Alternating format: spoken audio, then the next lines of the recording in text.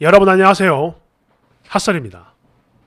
이번 시간에는 그 왜 몇 달 전에 아마 작년이었을 겁니다. 자기 남편이 이제 회사에서 다른 여직원 무슨 부장이랬나 과장이랬나 아무튼 여직원하고 밥을 먹는데 이걸 가지고 이거 바람 아니냐 이러면서 난리를 쳤던 아줌마 있었는데 기억들 하실지 모르겠습니다.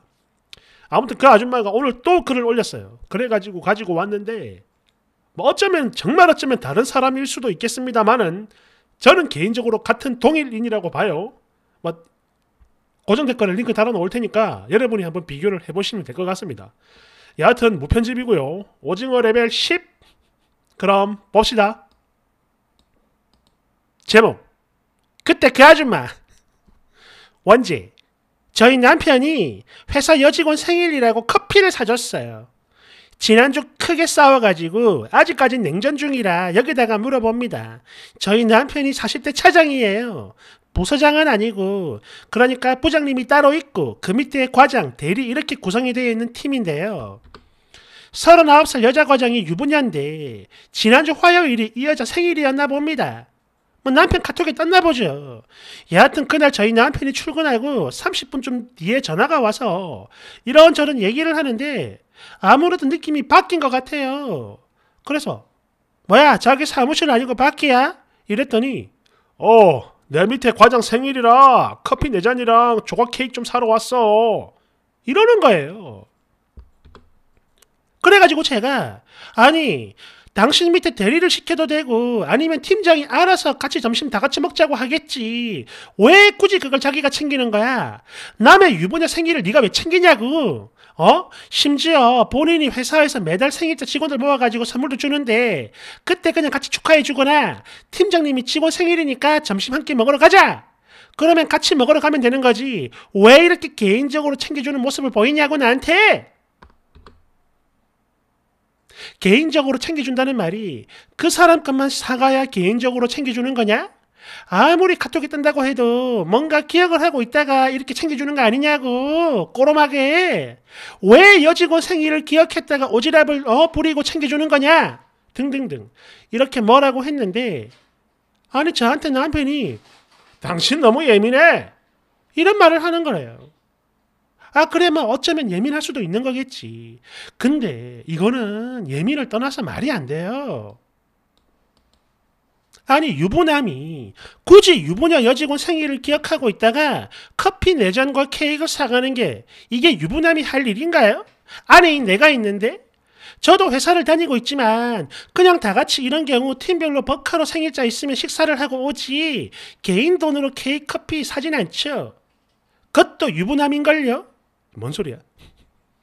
댓글 1번 미친 이 아줌마 아직 안 죽고 살아있네. 달달달달.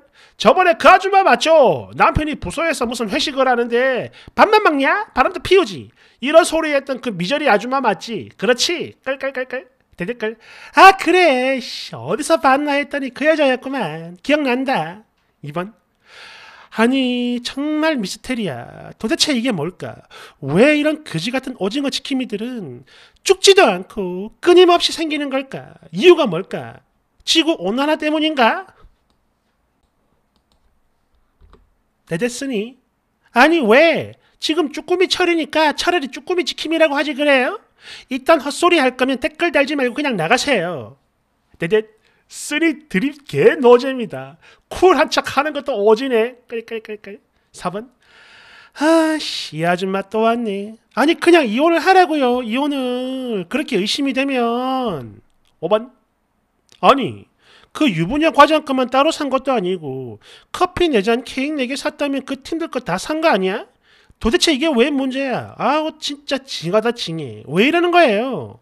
됐으니 당연히 유부녀 과장권만 사서 주긴 어 보는 눈이 있잖아요.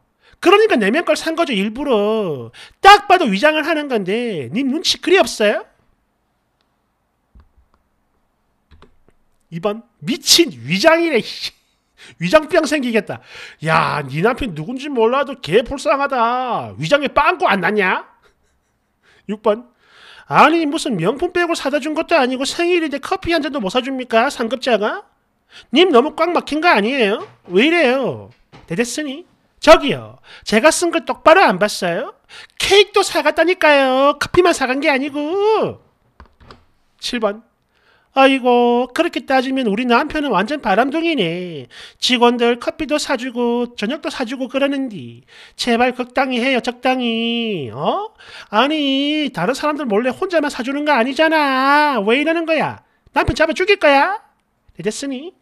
네, 저도 그냥 평소에 사주는 건 괜찮아요.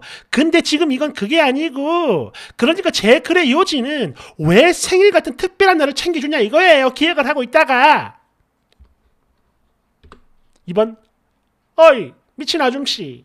평소 안 챙기다가 생일이니까, 어? 즉, 특별한 날이니까 부하 직원한테 한 잔 사주는 거, 이런 생각은 안 해보나? 어? 8번, 님아, 님이 그렇게 하면 남편 숨막혀 죽어요. 적당히 하세요. 아니, 카톡에 떠가지고, 뭐, 큰 케이크도 아니고 커피인데. 네, 됐으니? 그게 다가 아니라, 조각 케이크도 샀어요. 큰 홀 케이크 아니라, 제가 그래 안쓴 건데 추가했어요. 뭔 말이야? 어지러워. 9번. 아니, 저기요, 아줌마. 커피가 뭐, 커피가 왜요? 그냥 커피 내전 사러 나갔다 해도 어 자기 부하 직원 안 시키고 상급자인 본인이 사러 가냐고 빽빽거렸을 거 아니냐고 아줌마 하는 게 딱 그러네. 다 마음에 안 들지? 내 됐으니 아니 조각 케이크도 샀다니까요. 큰 전체 케이크를 산 건 아니라 그냥 뺐는데 역시나 제가 기분 나쁠 일인 게 맞죠? 아 원래 본문에는 케이크 샀단 말을 안 했나 봅니다. 그러니까 큰 케이크를 산 건 아니고 조각 케이크를 산 건데 이 정도는 자기가 넘어갔었다. 근데 커피가 전부가 아니다. 뭐 이 말을 하는 것 같습니다. 뭐 그게 아니면 뭐 다른 해석이 있으면 말씀해 주세요. 2번 하이고 이 도란스야. 니를 어쩌면 좋나? 10번 카톡에 떴나 보죠. 라고 지가 써놓고 뭐야. 아줌마 치매세요? 그저 카톡에 떠서 본 걸 가지고 스스로 뇌를 조작 중이네. 기억하고 있다가 사준 남자로 만들어버렸어. 너는 정신과 치료를 받아야 할 정도로 보여요. 아니 사회생활 안 해봤어요? 직장 다닌다고? 그거 꿀하지. 차장 정도 돼서 커피 내잔 사는 게 뭐 큰일이야. 내 됐으니? 아니 그러니까요. 커피뿐만 아니라 조각 케이크도 샀다니까요. 2번 아, 자꾸 왜 이래, 이 아줌마. 내가 조각났나? 그런 건가? 그렇구만. 3번. 이러니까 사회생활 안 해본 여자랑 결혼하면 힘들다고 하는 거요. 11번.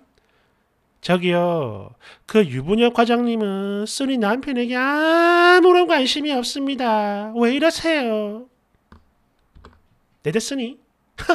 님이 그걸 어떻게 확신하는데요? 장난해요? 2번. 저기요, 오징어 지킴이님, 맨날 그렇게 집에만 있지 말고 밖에 나가서 일도 하고 사회생활이라는 걸 좀 해보세요. 늘 그렇게 방구석에 앉아가지고 남편만 기다리지 말고. 네, 됐으니? 저도 회사 다닙니다. 사회생활 한다고요. 3번, 어디 회사 다니는데? 뭐 방구석 주식회사인가? 깔깔깔깔. 12번, 야, 이 옆편네 잊고 있었더니 안 죽고 또 왔네. 아니 그래서 그래서 뭐 이혼 언제 할 건데요, 아줌마? 어? 말해봐. 언제 할 거야? 13번. 이렇게 해서 오늘도 오징어는 안전합니다.